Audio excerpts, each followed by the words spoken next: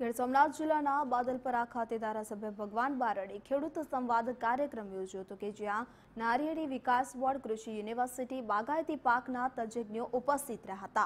નાળિયેરીમાં સફેદ માખીનો થતો રોગ. ખેડૂતોની મુખ્ય સમસ્યા હોવાથી તે અંગે અહીં ચર્ચા કરવામાં આવી હતી.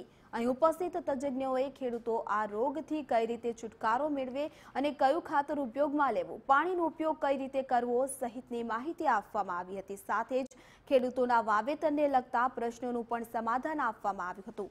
મહત્વનું છે કે દરિયાઈ કાંઠાના વેરાવર કોડીનાર, તાલાલા, સુત્રાપાડા, ઉના સહિત ચોરવાડ અને માંગરોળમાં નારિયેળનું ઉત્પાદન ખૂબ થાય છે. આ નારિયેળીનું વાવેતર કરતા ખેડૂતો માટે સફેદ માખી નામનો રોગ એ ભરડો લીધો છે કે જેને કારણે નારિયેળીના પાકને ઘણું નુકસાન થઈ રહ્યું છે. અનેક ખેડૂતોએ આ રોગના કારણે વર્ષોની મહેનતની નારિયેળી કાપી પણ નાખી છે. ત્યારે હવે તાલાલાના ધારાસભ્ય પોતે પણ એક ખેડૂત છે. તેમણે ખેડૂતોની આ ગંભીર સમસ્યાને ધ્યાને રાખી ખેડૂતો માટે સંવાદ કાર્યક્રમ યોજ્યો હતો. કે જે ખેડૂતોની જે પડતી મુશ્કેલીઓ અને ખાસ કરીને છેલ્લા ત્રણ ચાર વર્ષથી નાળિયેરીની પાકની અંદર જે સફેદ માખી ટાઈપનો જે રોગ આવ્યો છે, તે એમના કારણે સમગ્ર જુનાગઢ, ગીર સોમનાથ અને બોર્ડરના છેટ આમ મોવા સુધીના ખેડૂતો, આમ તો સૌરાષ્ટ્ર આખું, બધા ખેડૂતો એનાથી પરેશાન હતા. અને મને હું પણ એક ખેડૂતના દીકરા તરીકે, હું પણ નાળિયેરીના બગીચાઓ ધરાવું છું એટલે મને ખ્યાલ હતો. એટલે મને એવું લાગ્યું કે આનું કાયમી નિયંત્રણ થાય, કાયમી કંઈક ઉકેલ થાય. તો એના માટે શું કરવું જોઈએ?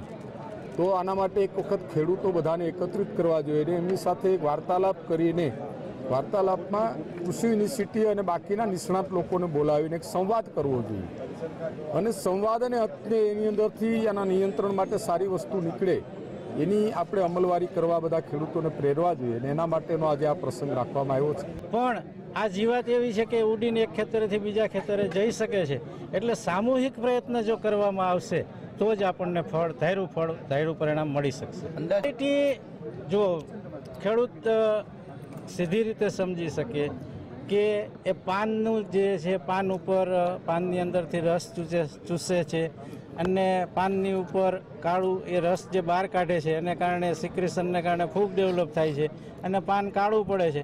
એટલે નાળિયેરીનું રસોડું જ્યારે બંધ થાય છે, તો એની ક્વોલિટી ઉપર તો અસર વટ નેચરલી આવવાની જ છે. આ વિસ્તારની અંદર મોટા ભાગની નારિયેળીનું વાવેતર હોય અને માખીના હિસાબે જે ક્રોપ ક્રોપ આવવો જોઈએ નારિયેળનો, એ આવતો નથી. અને પચાસથી સાઠ ટકા જેવો લોસ આજે ખેડૂત ભોગવતો રહેલો છે. એની ઘણી બધી દવા અને દેશી પદ્ધતિથી કેમિકલવાળી દવા છાંટીએ છીએ. એનાથી બહુ ફરક પડતો ને. રેગ્યુલર મહિને વીસ દિવસે પચીસ દિવસે દવા છાંટવી પડે છે. લિયોનેક્સ બધા ખેડૂતો વધારે ઉપયોગ કરે છે. ખાસ તો જે માખી આવી નુકસાન કેટલું તમને? માખીના નુકસાનથી સાઠથી સિત્તેર ટકા જેવું નુકસાન છે. અમુક બગીચામાં ઓછું છે. એમાં જે વાનફેર નારિયેળી હોય છે એમાં થોડું ઓછું છે બાકીની નાટેડીમાં વધારે છે. ઓકે.